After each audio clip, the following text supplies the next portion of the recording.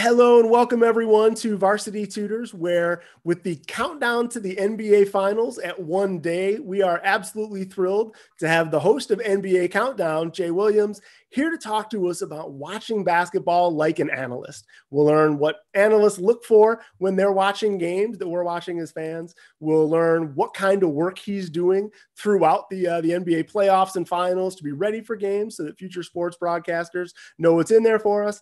And we'll make sure we get a pretty good appreciation for how we can better watch and uh, appreciate these upcoming NBA finals. Now, in basketball, it's frowned upon to talk back to the referees. And if you yell back at your TV, that kind of makes you seem a little bit crazy. But today, yeah. we want this to be interactive. So we want you to talk back to Jay as much as possible. He's going to ask you some questions, and you can use that chat panel to uh, the right of the video there to answer those. And you can ask him questions. And at the end, we'll interview Jay with all of your questions. Tag your name on them so we know who's asking. And while we've got one of ESPN's biggest on screen, on camera superstars here, we want to put you on camera as well. So have a camera nearby. And at the end of class, we'll take a selfie with Jay. The winner, when you post it to Instagram, tag Jay and uh, tag Varsity Tutors, you'll be entered to win an autographed basketball that we'd love to send out to you. So, all right, as his final appearance, I think it is before the NBA finals start, at least before that day, um, Jay is generous enough to uh, to give us a ton of his time and talk about basketball. So I want to introduce you to your teacher for today, Jay Williams. Thanks, Brian. Really appreciate it. Hey, everybody, how are you? Uh, very excited about what we have to break down today. Obviously, the analytics of the game are something that I pay heavy attention to.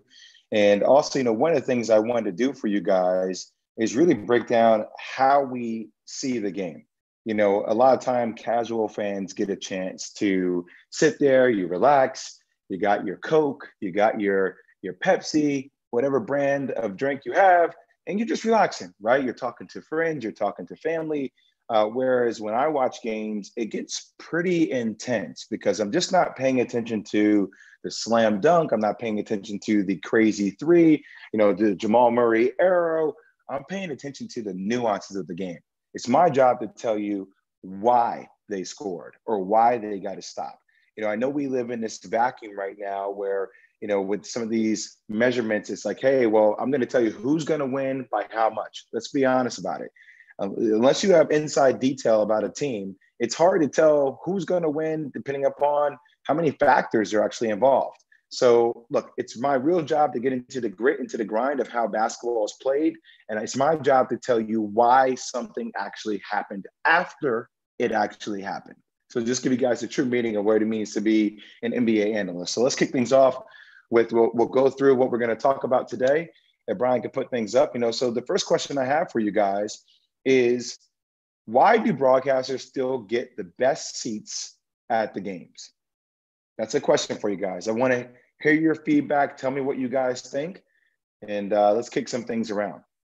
I like it. TV has never been more crisp or clear, which is very true. Um, okay, liking some of the answers we see. Uh, let's see what's going on with the players. All right. Yep, to tell the story of the game. Smart. All right, like that too. Yep. Ah, interesting one. I like that. To give you insight into what the players are doing pregame. Smart. All right, so let's break this down real quick. Um, obviously, we're living in a very different world right now. 2020 has been an insane year. We actually, you know, we weren't allowed to be at games at first, but we do have a broadcasting team that is there. It's my job to be in studio. But one of the things that you pay attention to when you're on the court is you actually get a chance to see and feel how big, fast, and strong some of these individuals are. So, what I did, because I want to put this in perspective for all you guys, I am six two and a half, six two and a half. I weigh 198 pounds. Okay, I'm, I'm pretty, I'm pretty strong here. But Yao Ming, who got drafted over me, so you know, a lot of people just to really break down basketball talk. A lot of people like, well, you were the third pick or you were the fifth pick and all this stuff. Okay, I was the second pick in the draft. I'm six two and a half, 198. Yao Ming who's standing next to Shaq to your far left, is 7'6, 310 pounds. 7'6, 310 pounds. Standing next to Shaq, who is 7'1, 324 pounds. So you then see a picture of me, the first pick in the draft, Yao Ming, next to myself, who's six two and a half. Now, when I stand next to normal people in everyday life who are five nine, five eight, five ten, six feet tall, they're like, whoa, you're really tall. Just understand how fast people are. Is Jay that tiny? No, I'm actually not tiny. I'm I'm larger than the normal average human being, but compared to the people I'm playing sports with, I am tiny. Okay. Now let's think about some of these, these other athletes. LeBron James, 6'9, 250 pounds. You know who else was 6'9, 240 pounds? Karl Malone. You guys may not know who Karl Malone is for all my young guys out there, but he's the guy they called the mailman. He played with the Utah Jazz back in the 90s, and he played with a guy named John Stockton. It's considered to be one of the best pick and roll combinations the game has ever seen. So Karl Malone was built like this. So now take a power forward. He was a power forward back when he played. Now take that same size and put that into a point guard built mentality, and you have LeBron James. Luka Doncic, 6'7, 230 pounds. He's a point guard. You see him with the Dallas Mavericks. Stephen Curry, he's probably really small, right? No, Stephen Curry, 6'3, 190 pounds. And then the last one, Kristaps Porzingis, right? He's a guy who sets screens. He looks a little bit tall, looks lanky on the court, 7'3, 7'3, 240 pounds. Think about what people say. Well, he needs to put on weight. He doesn't. He's 240 pounds at seven three and can shoot three. So one of the things you see when you're courtside, guys, is you get a chance to see LeBron James at 6'9, 240 pounds, goes down the lane like that, flies down the length of the court like that. So we used to do this challenge when I was in college. I would have to count how long it took me to make my way all the way down the end of the floor. It would take me around three, one to get down. So one, two, three. I was crossing the line. I was all the way down the court. So you have a lot of guys that are that fast, that are that strong. You also have guys like Zion. Ready? Zion, six six, close to 300 pounds. Zion, 43 inch vertical. A 43 inch vertical. There are times when you watch Zion jump where his head is above the rim. Above the rim. Now, you guys may see that on TV, but you're also sitting back watching TV from back here, right? When you're on the court, you get a chance to see how quick guys move, how fast, how strong they are. So I just want to put that in perspective and it allows you to tell the game differently because you have a firsthand experience at breaking it down. Plus, you also see how guys move on the court and how the court looks so much smaller when you're there because these guys are such big entities on the floor. Okay, let's go to the next slide. I think that was a great breakdown just to give you guys a comparison. So, who sees what?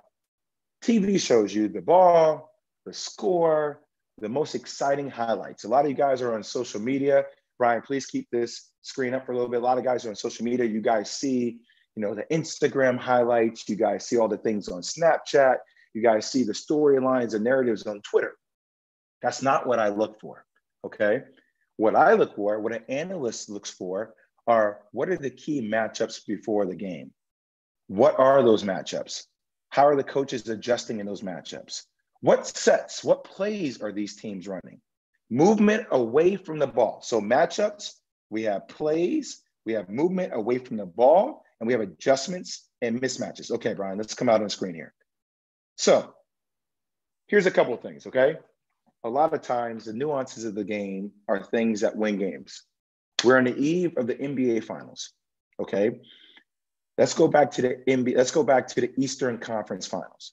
What we saw was Brad Stevens, one of the best coaches in the game of basketball, play, uh, actually coach against Erik Spoelstra, who is one of the most brilliant minds in the game. I don't know if you guys saw, but Miami was playing a 2 3, 3 2 zone. They would switch it up depending upon where the guy was at the bottom of the zone. Okay. We had a hard time. The Boston Celtics had a hard time beating a zone. But what you saw throughout the midst of that entire game. So you guys are, oh, they're playing zone, right? So think about it. You're watching a little quick of a highlight, like they're playing zone. You don't really know if it's a 2 3 or it's 3 2. You're just like, they're playing a zone. Do you know how many times that defensive scheme changed? Do you know that Erik Spoelstra, the coach of the Miami Heat, went from a 2 3 to a 3 2 to a box and one to a triangle and two to a matchup zone, back to man to man. He did that multiple times throughout the course of a quarter. Of a quarter. You would never see that because you're paying attention to the ball. You're paying attention to it's Kemba scoring. Ooh, that was a nice move by Kemba. Ooh, what a shot by Jayson Tatum. But you don't see the multitude.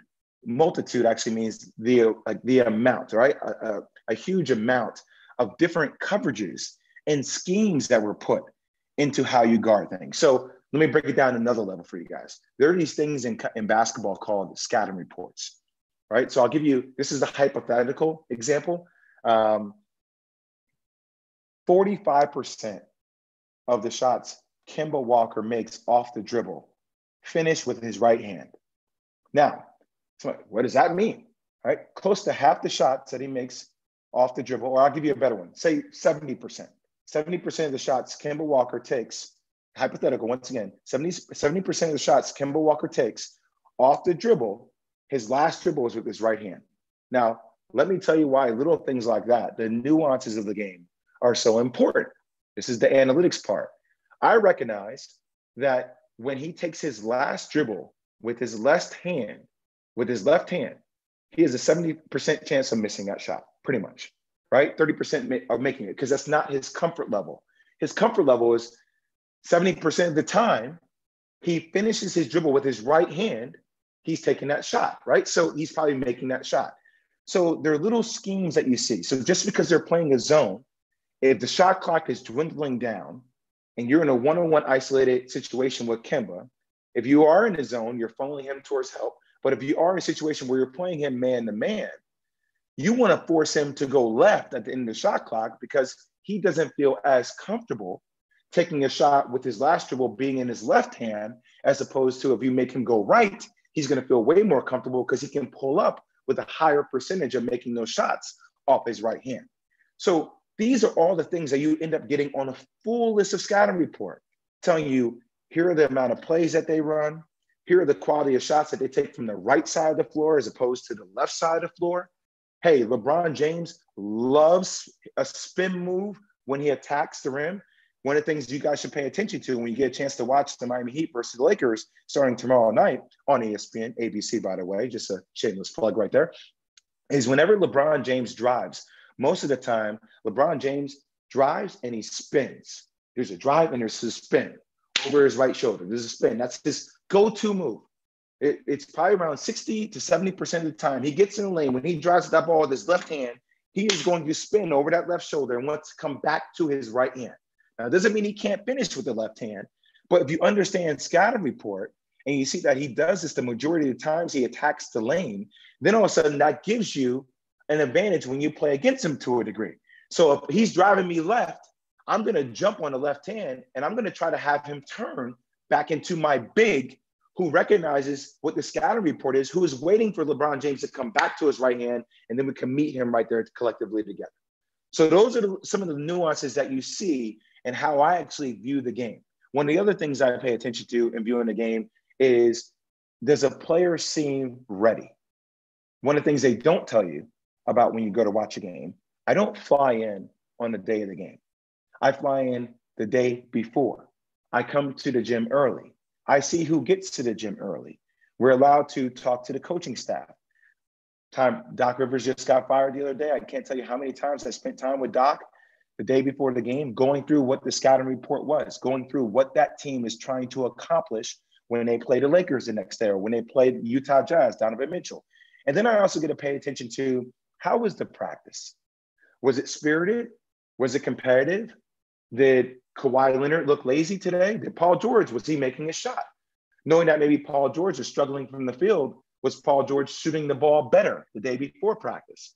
And then taking all those nuances that I paid attention to in practice and then having them translate to the game, right? Providing you as a viewer context by saying, okay, yesterday in practice, Doc Rivers worked on this scheme to stop LeBron James. One of the reasons why this scheme is not working today in the game is because LeBron has done A, B, C, D, and A, B, C, and D. Okay. Breaking down to you guys, giving you context on what the defense is trying to do, and then telling you why the offense is actually prevailing during the game. Those are some of the critical components to breaking down basketball, understanding schemes and also understanding rhythms, right? Understanding what tendencies are, what players like to do. And that only comes by watching a countless amounts of hours of games of basketball, of individual players. You uh, know, back in, you guys can't see it, but behind me, literally, I always got NBA League Pass going.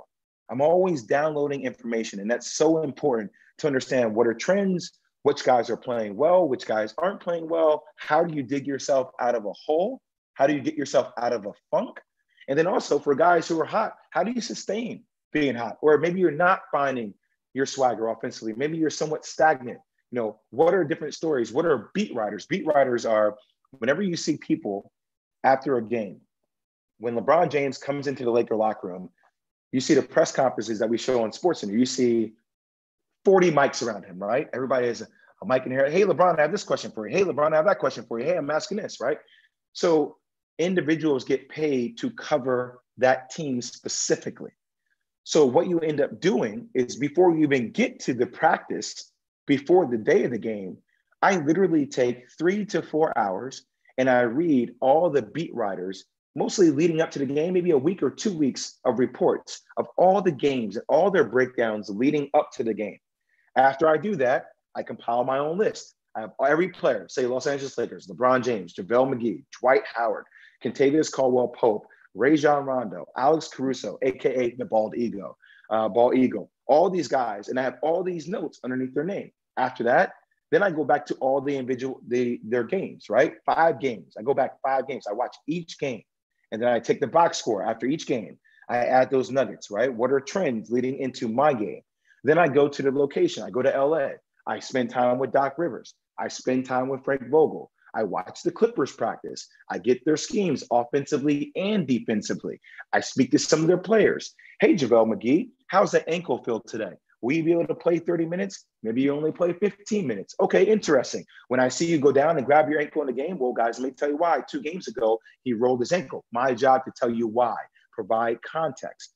All right. Hey, this team just traveled off a plane. They're playing back to back games, two games in two days. Hey, they just played this game in Utah. Now they're coming back to LA. This is maybe why they're tired, or they played a game in Denver, the altitude, right? Playing a game in Denver is drastically different than playing a game in Los Angeles. But you need to play in these arenas. You need to spend time with these coaches and these players and understand context by doing your due diligence to give me the full story. The full story. It's not my job just to say, well, LeBron James had 45 and this was incredible. Let me tell you all the reasons why it was incredible. It's my job to tell you why LeBron James was prepared mentally and psychologically on how he got those 45 points. Okay, perfect. Next slide. Let's go, Brian. Here we go. This is really good stuff. Okay, what do analysts look for when you see, right? So Steph Curry hits a three. Giannis gets an open dunk. LeBron James with the block. Let's go through all these. Steph with the three. Okay, three point shot. Giannis dunk and LeBron James with the block. Okay, come on out, Brian. So this is very important, guys. So a lot of times you guys will see highlights on IG, on Snap of Steph Curry coming down and taking a, a really deep three, right? Maybe um, we can't get highlights, but he takes a couple steps over half court, launches up a shot. So let me tell you a couple of things I look for with Steph Curry. So number one, Steph Curry is a dual threat. I don't know with a lot of players if you guys know what I mean by dual threat. A lot of players have tendencies where there's a pace dribble, right? So for me, there was a tendency with my game that my left hand, the way I dribbled the ball was my pace dribble, right? So most of the time when I shot the ball, I can shoot off both hands off the dribble. But when I was in a one-on-one situation, literally I would hit you with a hesitation. Either I was going to go by you or I was going to pretty much raise into a jump shot, right? Steph is a dual threat. He can do with both hands, his left and his right. But one of the things you should pay attention to that you won't get a chance to see as much when you're watching the game from home, but when you're on the court, you see it differently. Is Steph is one of the best shooters in the game, not just because of his ability to make shots, but because of his eyes. Now, you're going to ask me, Jay, what does that mean? His eyes. Steph has this ability to shoot the ball from anywhere on the court. But what he does before he shoots, he focuses his eyes on his target. So when he brings the ball over half court, sometimes you'll see him, right? And he'll have a pace dribble with both hands and he'll go like this. He'll look at the rim and he'll pause. So let me tell you what that does. When I when Steph Curry goes like this and he stops and he gives you a hesitation, he looks at the rim. A couple things can happen. That could be a hesitation, or it could be a shot. What does it force you to do as a defender? It forces you to you lean in. Now, if you decide to lean in, he has you. You know why? Because defensively, you always want to stay on balance. You want to be upright. You want to be solid. When I lean, now all of a sudden I'm not on balance. He has me on a on a on a yo-yo. He can take me left. He can take me right because I'm leaning. I'm leaning towards him. His momentum is bringing himself towards me. I'm leaning towards him. So with his eyes, when he catches you like this, if he freezes you, he can pull up in your face. If you lean, he can cross you over and go this way, one dribble pull up. If you lean the opposite way, he can come back, he can put his shoulder into you and then cut you off. He may not be fast to sustain beating you without actually cutting you off. So by the time you turn around, he's going this, he's cutting into you, taking all of a sudden you're on the back end of the play. You're out of the picture and he can always lean forward and shoot. So know that when you watch Stephen Curry, right? Eyes. Number two about Stephen Curry, when he comes off screens, his footwork is impeccable. So when he comes off the screen, the screen's coming down and he's looping around the screen on the right side of the court, he's already turning into his shot. His shoulders, if the screen's coming this way, he's already turning into a shot before he catches the ball. You know what that does? By the time he catches the ball, he's already into a shot. Think about a normal player. If I'm turning, I'm catching the ball here, I have to turn all the way into my shot and then I have to go up. What does that do? That gives the defender a lot more time to catch up and to retreat to block my shot. Okay. Especially if the defender's trailing me on screens. Steph, by the time he catches the ball, his shoulders are already turned towards his target. So think about the instantaneousness of that quick release, which you guys see all the time, is that thing's gone. It's gone before you even a chance to get there. So that's Stephen Curry. Eyes and footwork for Stephen Curry. For Giannis, a lot of people talk about his dunks. Oh, look how long he is. Do you know Giannis is, has one of the best footworks there is in all of basketball? Watch how many times Giannis Euro steps through traffic when he attacks. So one of the things we all know Giannis has to work on is his jump shooting ability, right? But when you watch Giannis in traffic, Giannis will, if a defender is coming to the right, Giannis will sidestep to the left, right? And then another defender maybe comes up, he'll sidestep back to the right. But when he sidesteps, guys, right? I don't know if you guys know what a lot of Euro steps is. It's literally, it's like you're dancing with the ball. You get two steps. So when you go up for a layup, you go, say I'm going up for right-handed layup. I go right foot, left foot, jump, right? Usually it's right foot, left foot in my stride. A Euro step is I can still take right foot, left foot, but I can take it towards the side. So I can step out here with my right and I can come back over here with my left. And then I can lay the ball up, right? One of the things Giannis does exceptionally well with his Euro step is he knows when to extend his arms and when not to extend his arms. Now, somebody's gonna ask, Jay, why is that so significant? Ready? A lot of times when you come through traffic, what do people do? They break down on their arms, right? if you don't know where the ball's going to be, there's going to be a tendency for you to foul me. So sometimes when I Euro step right, I can hold the ball over here. Sometimes when I Euro step back to left, I can hold the ball here, or I can hold the ball here. He's so good at keeping the ball distance from his body, bringing it back and forth that allows him with his footwork to navigate through traffic to get those crazy dunks that you guys see in traffic. So that's him, LeBron James. He's one of the best there is ever to play this game. One of the things that you have to pay attention to with LeBron is his hands on the ball. Now, I know you're probably once again, you're going to ask me, Jay, what do you mean LeBron James in his hands, right? You guys see every time when LeBron makes a mistake, he goes, mm, he goes like this, right? Hands are so important, guys, right? Because for LeBron James, when he's going, first off, his head is always up. For a lot of you young guys on this call right now, a lot of see a lot of you guys, you dribble like this. You're dribbling, you're going, you're going, or you're only looking at your defender. I'll tell you something. The better you get at basketball, LeBron James is one of the best there ever has been to do this. All right. I don't just see my man, I see the entire floor. I see where everybody is positioned. And also, it's like a quarterback. LeBron James is able to deliver passes where you should be, not exactly where you are. So, example of this, what I mean is there are a lot of times on fast breaks where LeBron James will have somebody riding him on his left shoulder and he's dribbling the ball. The ability to take the ball off the dribble, and you'll see LeBron sometimes. I don't know if you guys watched the football game last night, but Pat, Patrick Mahomes did this. He threw, he was looking this way and he threw a pass that way, right? So one of the things that LeBron is so good is right now I can still see you, but I'm not even talking to you. I'm, I'm talking to you. I can't see you, see you, but I can still see you, right? I can see if Brian changes the slide. I can see what colors of the slide are. I can see my light all the way over there in the corner. It's because you learn how to train yourself to see the whole floor while also kind of throwing a, a twist to your defender because I'm looking this way, but I'm actually looking that way. So LeBron James, his hand-eye coordination to bring the ball and to see it and just deliver it off the dribble, right? Somebody's like, hey, Jay, catch this. Boom. I'm looking this way, but I caught it. Boom. I'm looking this way, I can caught it. He's been able to do this, and this is an innate skill. A lot of people do not have it. But the ability to see that when you're actually on the floor and see how quick his hands are and how he can grab a ball and throw it. There are a lot of times, sometimes he can catch a pass, he'll catch it with one hand and throw it off the pass. A lot of times you catch something, you go, right? And then you throw it. LeBron will just catch it out of the air and then throw it because he's already thinking plays ahead, telling you where you should be. So those are things for you guys to pay attention to when you watch Steph Curry Think about the shoulders, the footwork, the eyes with the hesitation. When you think about Giannis, think about the footwork, think about Euro stepping through traffic, but extending the ball, bringing the ball back in. And then when you think about LeBron James, when you watch him play, especially tomorrow night against his zone, watch how his passing ability, watch how he can quickly catch the ball, throw it. Watch how he's not always looking at his passes, but he has a great feel for where players should be. I think those are incredible, important things for you to pay attention to. Next slide, Brian.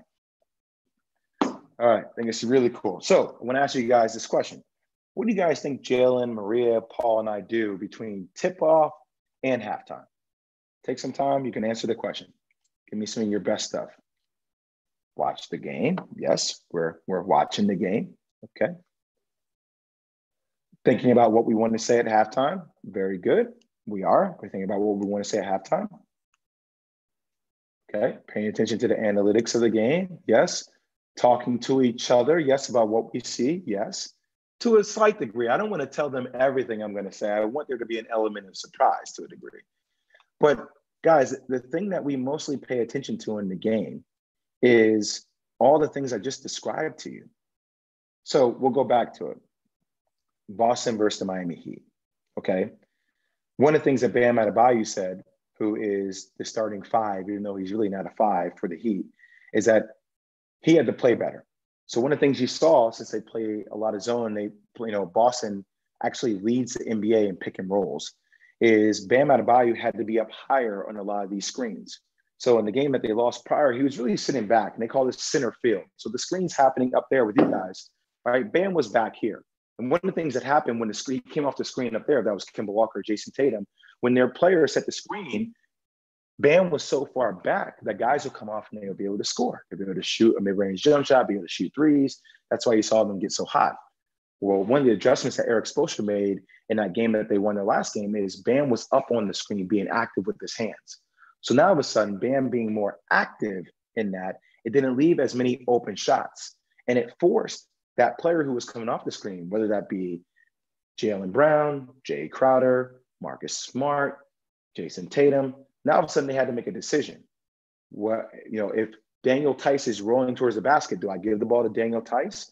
Which most of the time they did, and they forced Daniel Theis to make a lot of plays. But that's a win for Erik Spoelstra and the Miami Heat because I'd much rather have Daniel Theis or Enes Kanter making plays with the ball than having Marcus Smart, Jayson Tatum, Jaylen Brown, Kemba Walker. I want to get the ball out of their hands, right? So we're looking at schemes. Oh, wait, how's Miami guarding the pick and roll? Oh, the guy's not sitting center field this game. Oh, he's actually showing on the screen. Oh, they're actually blitzing the screen. That means trapping. Oh, they're actually downing a screen. What does downing mean? Right? These are all basketball terminologies that you guys will learn how to use. So if there's a side pick and roll, right? Say I'm playing the side. The sideline is over here. Okay. I'm playing my man here. He's on the side. What it means to down a pick and roll is if the screen's coming this way, I'm going to go so high on the screen, I'm not going to allow you to use the screen. I'm going to force you to stay on this side of the court. And my big, who's guarding the guy setting the screen, is waiting for you around the basket. So I'm going to funnel you in. I'm limiting how much room you have to dance the ball. I'm only making you stay on the right side of the court, and I'm only giving you one way to go. You're not going to beat me over the screen. You're only going to beat me towards my man where I have help.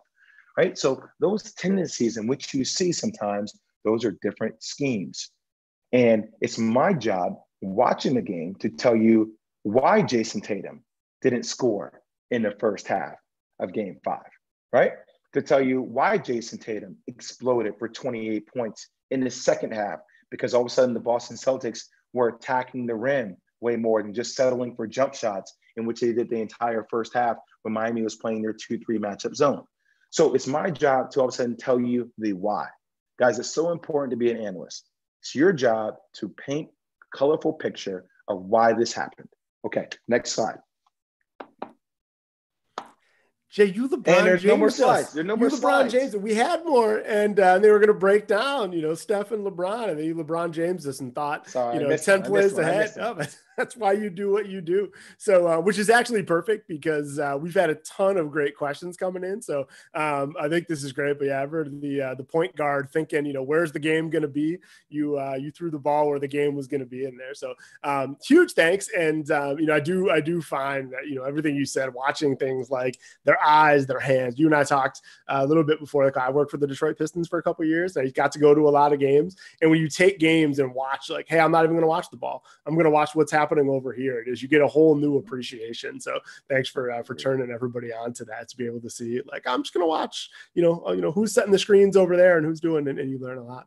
Um, hey, one big question. Uh, I know I had it, and I saw a couple other people type it in uh, while we were going through. You mentioned you know interviewing uh, you know coaches and players the day before the game. Um, do you ever get a sense that maybe they're lying to you so that they get an advantage in the game? I wouldn't put it past like Popovich or somebody, but how uh, do you think uh, they ever game you to uh, to to get an advantage? Well, I, I don't know because I don't really know how that will provide them an advantage. It's not like while these teams are playing, they're listening to me doing the broadcast, right? Um, you know, it, it's a lot of times just because I tell you that we're we're trying to accomplish this it's also my job to have if one A doesn't work, I have to have one B ready. I have to have one C ready. I have to have one D ready. I have to have one E ready. I have to have one F ready, right? There's all these different layers of the game plan, these nuances that there's not enough time in a day for you to tell me exactly what you have to do. So a lot of it is how do you devise a scheme that you can change on the fly? And the more I keep you guessing offensively about how I'm guarding you, is the more I'm being disruptive and how I'm throwing you off your cadence, your rhythm. Now, if I guard you man to man one possession, and I guard you two three zone, then I guard you a box of one, and then I come back to a three two matchup zone, you're like, wait, I just saw four different defenses and four different possessions, and uh, you know, by the time it takes me a second to realize what you're in, think about it. I'm at 16 or 17 seconds on the shot clock. right? So all of a sudden, then we have to press our offense a lot more, and it, our set may actually be conducive towards what defensive scheme you're in if you've been able to change it. So a lot of it is how quickly you can change your scheme and how quickly you can keep people adjusting. Excellent. Good, good point. All right. That's um yeah, I was I was wondering about that. I think some others were too. Hey, before we get all the way into Q&A, let's do one more, but then we want to take a break from the selfie. I forgot we usually do a selfie right before Q&A. But uh, we're we're so many plays ahead, Jay. So many plays ahead. We're playing playing fast with the uh, the shot clock here. So um, get those cameras ready. Uh, after this next question, we'll give you guys a chance to uh, to take that picture to uh, to enter to win. Um, one question that came in I thought was just kind of fun. You're talking about an analyst, but you know, even mentioned, you know, back in the back in the day, Karl Malone, you're more recent than that. Um, few people wanted to know a little bit about your playing career. And I think one of my favorites was what is your favorite play of your own playing career? Huh. My favorite play. I have I have a lot of plays. I think one of my favorite moments was recognizing that I was not as fast as Allen Iverson. And I was pretty darn fast I was pretty fast and I was pretty strong. But I think just guarding him, um, you know, around that time, seeing how he was able to cover so much ground. You know, AI was six one, six two, maybe about 175 pounds, 180 pounds. So, you know, he would go to the free throw line probably an average of 11 to 12 times a game. Like 11 to 12 times a game, that's a lot. He got a lot of his points from the free throw line. So, you know, if you hit him with the elbow, if he came into your body, you you bulked up like this, he actually would fall down. It was a legitimate fall. He would go to the free throw line, two free throws. And all of a sudden you look up and you're like, how does AI have 36 points? you're like, well, he made 14 free throws, right? So I, realistically, he just scored 22 points, but that's how it actually works out. So I would say AI.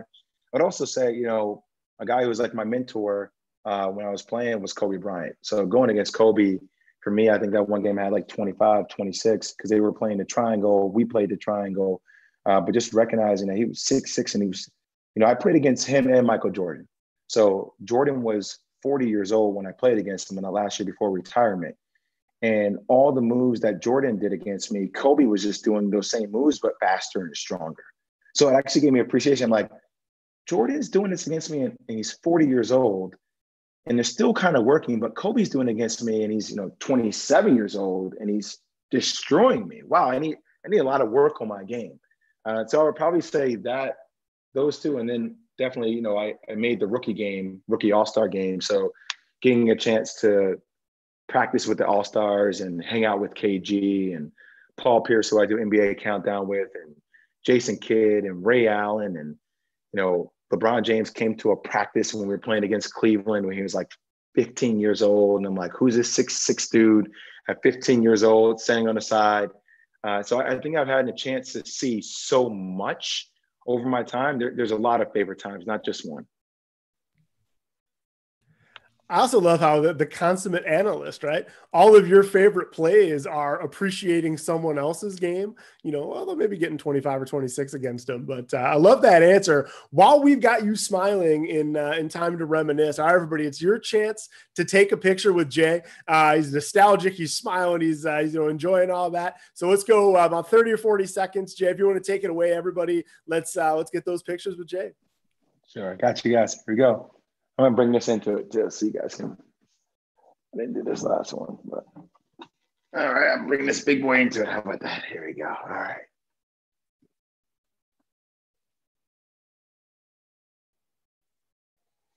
Cheese.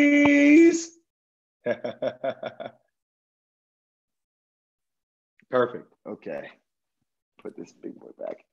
All right. Thank you. And for everyone, while, while Jay's putting that back, if you put that on Instagram, tag Jay Williams, tag Varsity Tutors, you'll be entered to win an autographed basketball on our way out tonight. We'll make sure we have all the instructions up there for you, so um, you can analyze those and uh, and get those up there. So, um, all right, another question. A lot of people want to know um, who's your favorite team, and, uh, that actually leads me to a question that I think I think broadcasters kind of like. So, let me open that one up. One, do you have a favorite team to watch? But also, I think every fan assumes that every analyst is biased against their team and for their rival, right? So, how do you respond when people say, like, "Oh, Jay, you're so biased against you know the Knicks, the Spurs, the whoever," um, unless you do have a favorite team and you just want to say what your bias is right now? No, you know, like uh, my favorite team is the team that plays well enough to win. It really is. Uh, obviously, I have affiliation for Chicago. I always want the best for Chicago. That's where I got drafted. Uh, I did grow up uh, a New Jersey Nets fan, so I'm a fan of the Brooklyn Nets. But you know, I stopped really caring what a lot of people thought a long time ago, Brian. I will say this: one of the, one of the things about my job that you start to recognize when you try to be uh, objective and you try to be real about your opinion is that you know people are going to dislike and people are going to like what you say. There's nothing you can do about it. I found this out, especially when I was doing a lot of college basketball back in the day. If I said something objective or something critical about Duke, I was a hater. I should have had my jersey burned. I should never have my jersey retired there. I was a traitor. I'm trying too hard to be objective. You're, you're, you're overstepping your territory. But then when I would say something that would praise Duke if they would do something well, of course you would. You're a homer. Uh, you love your team. There's nothing you wouldn't do for your team. So you're kind of darned if you do, you're darned if you don't. So for me, I just tell you how I see it. Um, you may, I'm actually not going to engage you if you say something like that to me. Now, if you want to actually talk basketball and talk schemes with me and tell me why you disagree with my comment, I will engage with you. But the people that just say things like, "Oh, you, that's your favorite team," and of course you're going to say that. Now, you know, look, if I if I root for KD, like I, I I know Kevin Durant, I want Kevin Durant to be successful. But I also, I've gotten a lot of arguments with Kevin Durant about when I say LeBron James is the greatest player of all time, right? But I learned not to care uh, to a degree of what a lot of guys think because I have to give my unfiltered, raw opinion. But it doesn't mean I can't have conversations with them. And the way I say my opinion is very important. And I think, Brian, is the biggest takeaway that we talk about breaking down the game. That's what I will say to everybody. I, I do not talk politics right now, but we have a presidential debate tonight. How you speak and how you communicate is very important. So when I say something critical about a player, one of the things that people don't tell you about my job is that it's easy when I'm in the studio. Well, this guy should have did this, and I can't believe that. And you have some of these people that call people morons and name calling and things of that sort. That's not me, because I have to see these people. So I can sit there and say, you know, LeBron James. And I got into a little thing the other day because I was like, LeBron James, you know, was similar to Scottie Pippen back in the day when he came, left Cleveland, went to Miami, played with D team at first. He was still the better player, and then he obviously he took the mantle, took the torch. LeBron James then responded to me. I then responded to LeBron James, but I said it in a way that he may have disagreed, but I know I'm going to see LeBron James, and I know I'm going to spend time with LeBron James. So that's very important, guys. How you say something is imperative, especially if you want to have relationships with players so they can continue to tell you what is actually happening in the game. That's the most important part. A lot of people just talk for the sake of talking. My thing is, I like to talk with insight, and you only get that insight by having relationships to actually communicate what is actually going on. So I just wanted to say that. Awesome. I like that. And you mentioned that in that first class too, that, you know, you need to be thoughtful about not just today's comment, but, you know, what does that do in the future? And, uh, and, and, you know, kind of, you know, keep, keep open mind about maybe you're wrong in this one. So, you know, support it and, and be open. So, and um, Brian, and owning when you're wrong, like going to a guy like, you know, LeBron, okay, maybe I, I could have said that better. You're right. And that's okay. Right. It's nobody, nobody's batting a thousand here. Like everybody's trying to, as long as you show people that you're trying your hardest to empathize and to relate, they can disagree with your opinion, but they can also respect the opinion that they disagree with also a really good point. Yeah, the number of hours a day that you talk about sports, you're bound to be wrong at one point or another. And so, exactly. thoughtfulness and uh, and and flexibility or being willing to admit you're wrong is uh, is pretty big. So um, that's actually that's the kind of point they uh, one of my favorite questions here, and it's big. So so think about it. But that's kind of what a mentor would tell you. And uh, a lot of kids were like, "Oh my, you know, like Kobe was your mentor." Uh, one of my favorites here is uh, how do you get someone to mentor you if you've got you know someone you look up for or you kind of you know it seems like everybody has someone help pave the way for them. Um, what's your advice for somebody who you know wants to have a, a mentor to teach them some of those lessons? Yeah so I'll, I'll, tell you about kobe a quick story that i've said multiple times. Um, you know we were playing the lakers. This is back when they were the championship lakers. And I w- I really wasn't playing well. Uh, i was getting distracted with off the court scenarios. And I, I had a conversation with myself and Coach K a, a, a couple days before that. Say, you know, I was going to recommit myself to getting back in the gym, staying in the gym, really just trying to find my groove. So one of the ways I did that is I got to the gym before games, the day of the game, and made a mandatory 300 made shots. I made 300 made shots. So sometimes you're making 300 made shots, you're shooting 450, 500 shots, right? Depending upon where you're shooting from and things off the dribble. So game was at seven got to the gym around 1.30 got there walked in the gym i saw kobe bryant already working out sat there sat on the bench tied up my shoes was watching him work out for a minute because I was like, I was like, all right, that's really cool. That's Kobe. And a little bit of a relationship with him. Watch him work out. And that served as motivation for me to go work out. Right. So I work out, spend an hour and a half on the court. Brian, everything's going well. I get done. I sit down on the bench. I unlace my shoes. And I look down and I still see Kobe Bryant working out at the same speed that he was working out when I first came in the gym for an hour. I was like, what the heck is this guy is relentless. There's no way his legs are going to be dead. There's no way he's actually going to play. So I watch him for like another 10, 15 minutes. I'm like, all right, like I'm not going to be starstruck here. I'm cool. I'm done. I'm not going to give him any competitive advantage. So I walk out, come back. It felt like that night Kobe had like 30 on us. Right. So after the game, I found myself mesmerized, trying to wonder, like, why did he work out like that? So I found him after the game. Like I pursued him and I found him. I said, Hey man, look, I, know we haven't had a lot of chance to spend time together. Um, but I wanted to ask you, like, why did you work out that hard? You know, when we were both working, like, why'd you keep going for that long? And I'm like, it's a true look, like, why? And he was like, because I saw you come in the gym. And I want you to know that no matter how hard you work, you will never outwork me. And that was one of the realest lines that I've ever heard because I really think that that line has, I've had to translate it to everything I do in my life. What you put in something is what you ultimately get out of something. And I think from that point on, I just kind of pursued him. I paid attention to what he said. I paid attention to how he operated. I asked him a ton of questions all the time. I was like that annoying little brother. And I never really took no for an answer. Right. And I have people that reach out to me from time to time, whether it's like a direct message or like, hey, it's me on Twitter, uh, or they'll send ESPN a letter. And then it's one attempt. And I'm like, there's nothing I've done in my life that's been successful that's been one attempt. That's like me taking one jump shot. And it's like, all right, I expect to be in the NBA. That's not how the world works, right? Like you have to have a relentless attitude in order to be great at anything. You have to pursue it. So when you say that you want somebody to mentor you, I would say one of the things that's so important is make sure that they feel your passion for what you want. They can't feel you and they can't understand your why, right? Why are you built this way? Why is this so important to you? Then I have a wife. I have a kid. I have another kid on the way. I have a mom. I have a dad. I have jobs. You know, I have a lot going on in my life. You have to give me a reason to say, I'm going to give you 20 minutes of my life or 20 minutes of my day that is jam packed to actually give you insight. And I only want to give that to people that want it just as bad as I do. You have to show that in your actions.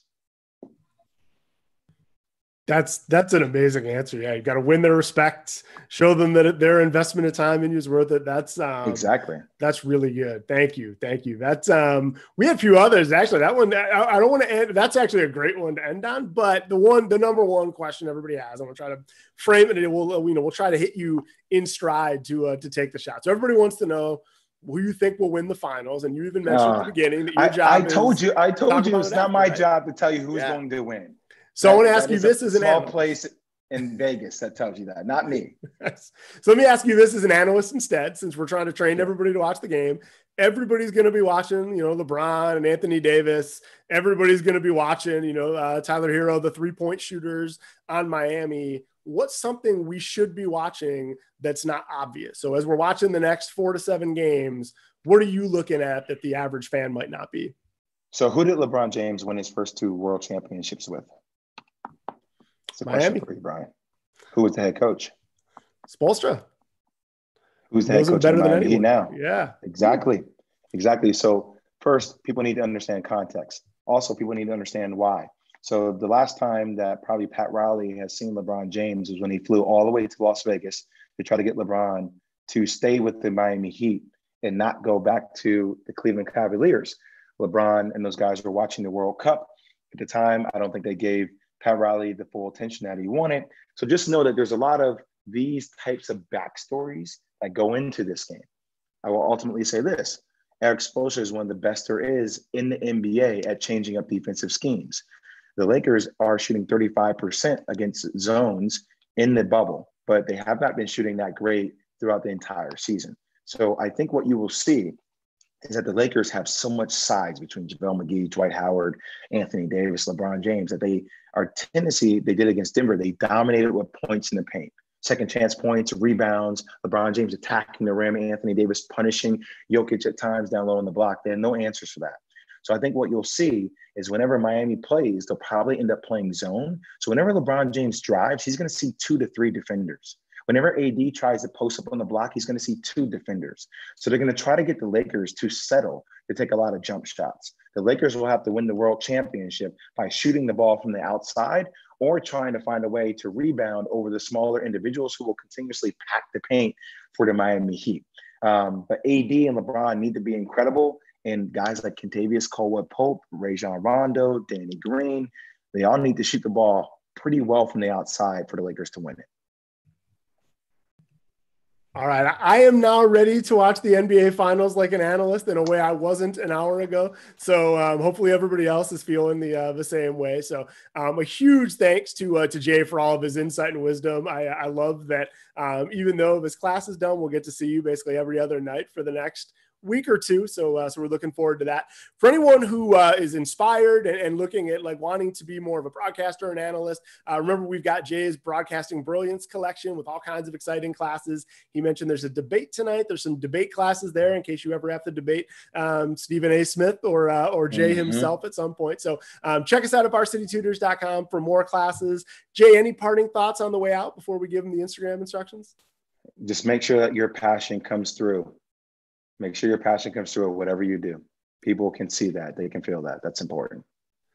Perfect. Great advice. Um, you've shown us that passion for uh, for helping students, for uh, NBA analysis, and all of that. So, um, a huge thanks. Best of luck to uh, to everyone with uh, with your broadcast career, and Jay more immediately. Uh, best of luck with the finals. Huge thanks to everyone, and uh, we'll see you back at VarsityTutors.com pretty soon. So, thanks everybody. Thanks, guys. Bye.